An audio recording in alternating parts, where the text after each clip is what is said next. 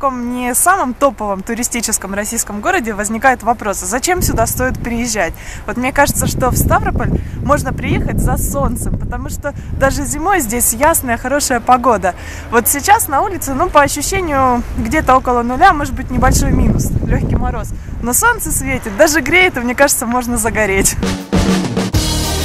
Я на сто процентов уверена, в любом городе есть что-то интересное, уникальное, отличающее его от остальных. И любой город достоин быть посещенным. На этот раз на доказательство моей теории было всего ничего по времени. Наша прогулка в Ставрополе длилась не больше трех часов, так что передо мной стояла непростая задача.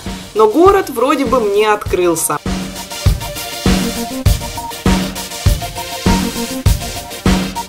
юг югом, но все-таки морозы здесь бывают зимние. Наверное, поэтому решили деревья утеплить и одеть вот в такие свитера. Реально настоящие вязаные. И причем, ну, достаточно большие. Только интересно, их вязали уже на дереве или все-таки как-то их надели?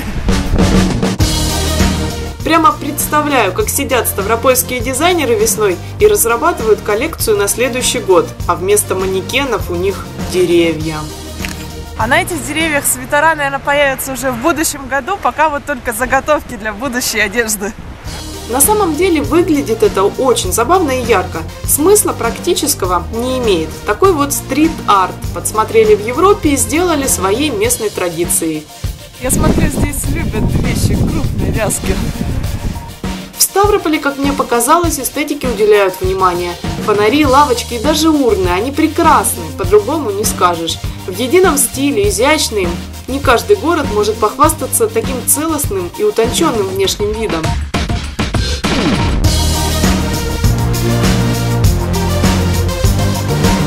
Но вот я просто влюблена в ставропольские урны. Вот они такие красивые, кованые, витиеватые, стоят просто по всем центральным улицам города. Среди остальных лавочек одна явно особенная. Есть одна лавочка, которая выделяется среди остальных. Вот такая вот необычная. Здесь кто-то оставил свой цилиндр.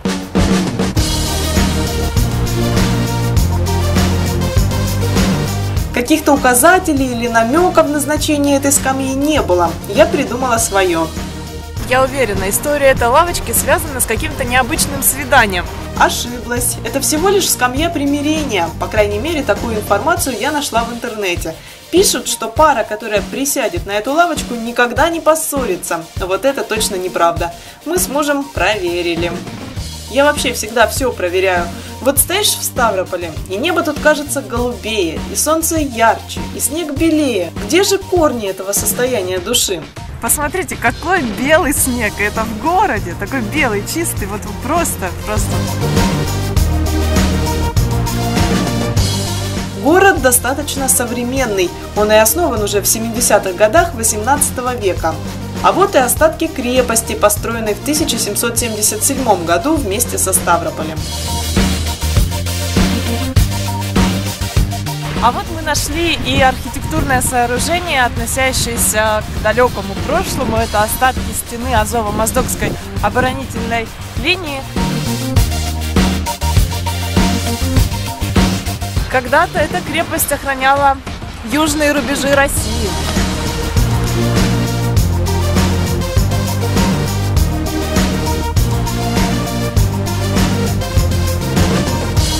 Зимний яркий холодный снег и ослепляющее солнце. Вот он, настоящий юг, Кавказ. А где же минеральная вода? Где родники? Какая-то рыба-утка. Если сейчас эти существа замерли, то летом они становятся сказочными рыбами и оживают. Скульптуры обрамляют родник, который течет прямо в центре города.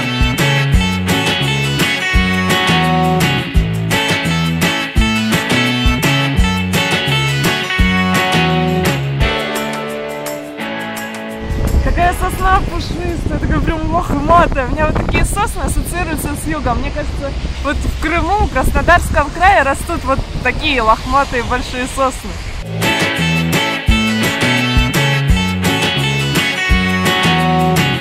Все мы заложники стереотипов. Вот и я думала, что в Ставрополе мы перекусим чебуреками, но их здесь найти сложнее, чем в Москве. По крайней мере, зимой они нам не попадались. Зато попалась французская пекарня. Конечно, Франция далековато от Ставрополя, но французская культура прижилась и здесь. По крайней мере, пекарня соответствующая есть. Кстати, очень вкусные десерты. И цены приятные, и порции не скупые. В общем, я была счастлива. Ну что, пойдем чебуреки искать. Кавказ же все-таки. Может, мы не по тем улицам ходим. А вот давайте-ка исследуем город сверху.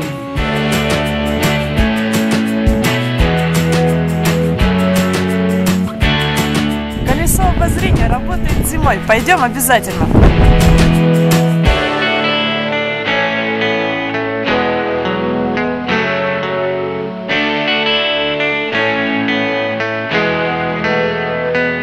За этой кабинкой вообще страшно нереальный шум. Это гудит ветер.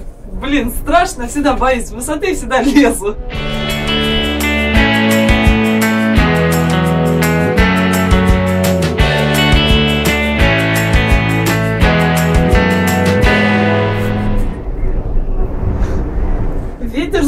Завывает просто дико. Я надеюсь, что нас не снесет, и нам не придется делать другой репортаж из этого города.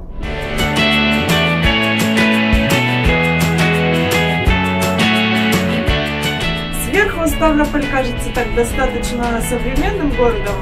Вот не видно этих старинных домиков, но потому что они все-таки там трех, четырехэтажные, где-то двухэтажные.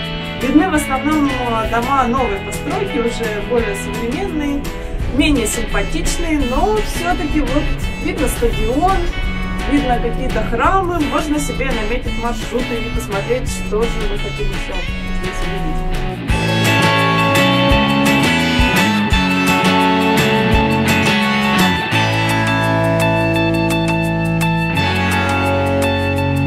Небо голубое, ясно, солнце уже садится, а все равно светло и как-то настроение такое праздничное.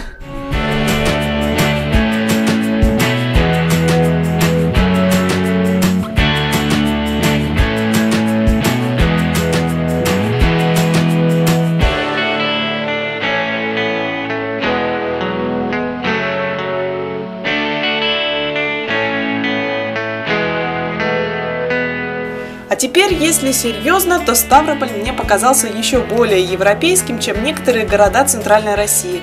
Вот этот белоснежный дом, похожий на особняк, на самом деле баня номер один.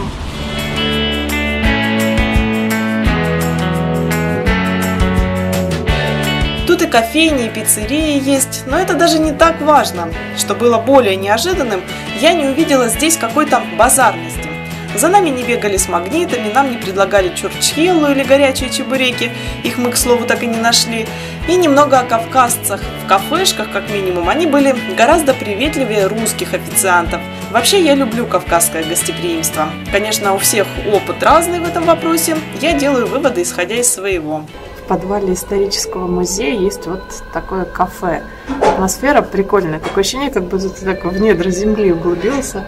И здесь есть даже витрина, то есть можно ознакомиться с частью коллекции исторического музея, пока обедаешь.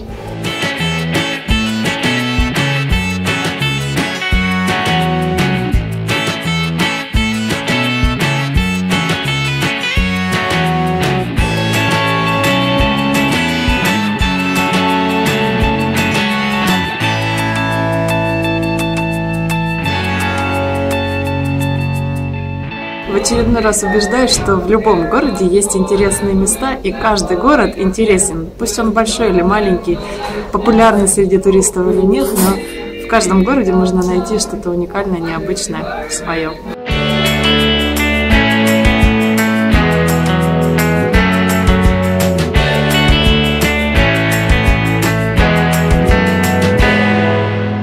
А сохранились в центре Ставрополя и одноэтажные, может быть, частные домики. О, мусор на двери висит, как в Венеции.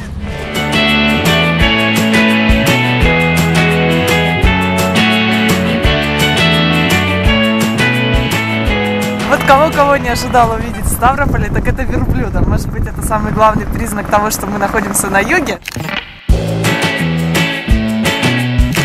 Когда мы были в Египте, я не рискнула залезть на верблюда. Но почему-то в Ставрополе, может быть, солнце по-другому светит. Мне захотелось познакомиться с этим животным поближе. Зовут Умка. Хозяин сказал, что он калмыкской породы и холодов не боится. Хотя холода тут, конечно, другие. Вроде и мороз, а солнце греет.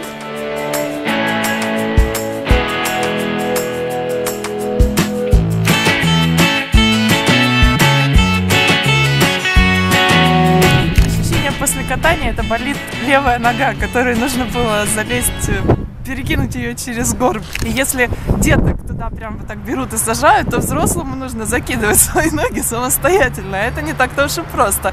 И вот если залезть на него действительно ты еще залезешь, потому что есть азарт, то вот слазить уже сложнее.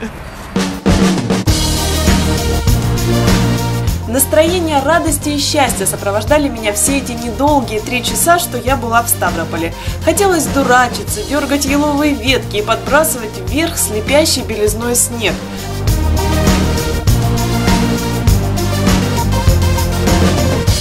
Мне кажется, местные жители должны были меня сторониться. Я этого, конечно, не замечала, слишком уж была поглощена своими эмоциями. Но на их месте насторожилась бы, заметив такую гостью в своей тихой, спокойной краевой столице. Принца мне, принца! В каждом уголке России есть что-то особенное, что-то свое и что-то западающее в душу. Моя теория в очередной раз подтвердилась. А когда в городе так ярко светит солнце, в него невозможно не влюбиться.